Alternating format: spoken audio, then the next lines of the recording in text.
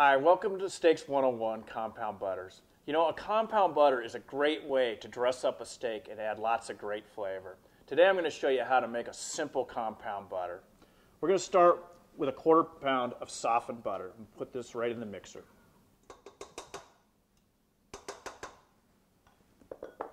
Okay, we're going to add some freshly chopped garlic, some freshly chopped basil,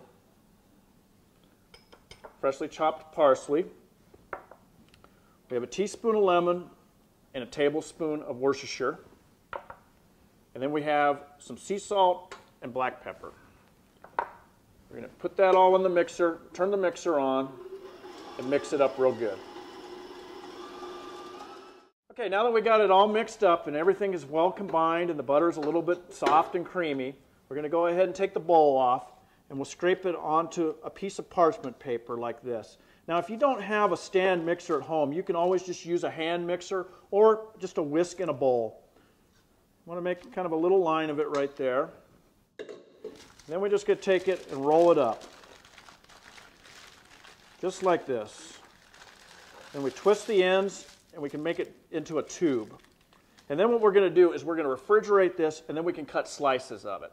The butter's been in the fridge and it's set up. Now we've unwrapped it, and now we're ready to slice the butter and put it on the steaks. We want to put it on the steaks when the, when the steaks are about three quarters of the way cooked so that it can melt on top.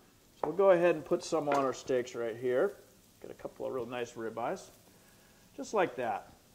And then that's going to melt onto these steaks. Now that the steaks have rested for five minutes, you can see that the butter has melted evenly on the steaks and the juices in the steaks have redistributed. These steaks are ready to serve. These steaks are typical of what you would find in a fine steakhouse because a compound butter really finishes a steak nicely. You can experiment with all different flavors and ingredients in making your own compound butters. Or at Omaha Steaks, we have several compound butters and steak glazes that are already made for you. So compound butters are a great way to take your steak to the next level. So give it a try the next time you're entertaining. Your guests will really appreciate it.